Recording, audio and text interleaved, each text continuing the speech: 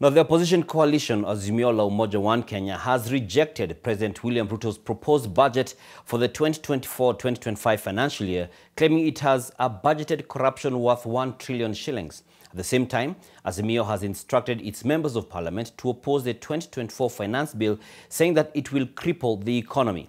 NTV's political affairs reporter Vincent Odur tells us more.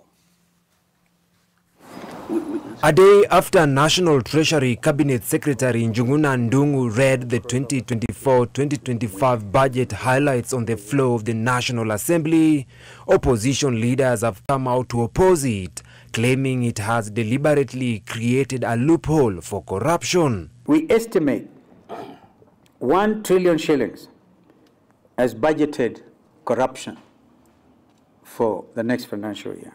Monies are budgeted for the office of retired president, retired deputy presidents, the vice presidents, and premiers, and nothing, nothing seems to be happening in those offices. Ask yourselves, where does this money go?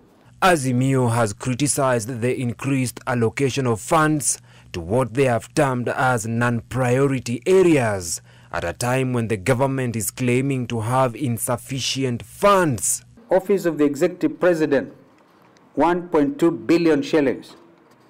Office of the Deputy President, 678 million shillings.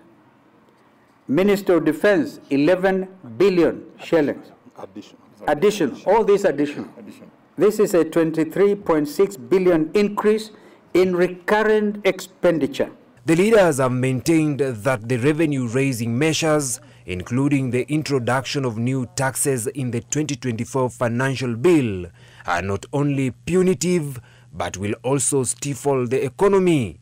Azimio has instructed its legislators to avail themselves next week in Parliament without fail to reject the bill in totality. The regime does not fear Sifuna or any of us here. The regime fears the mwananchi, calling them directly to tell them that chuma chako ki motoni. Na wananchi mwendelee kuweka hiyo pressure ile tulikuwa tunasema mulika mwizi, sasa mulika mbunge yako kabisa, Yes. tujue wale watawasaliti 2027 chuma chao kimotoni. Wakenya, let us send these guys home. Let them be a one-term regime. President William Ruto has convened a joint parliamentary group meeting this coming Monday to whip the MPs to support the bill.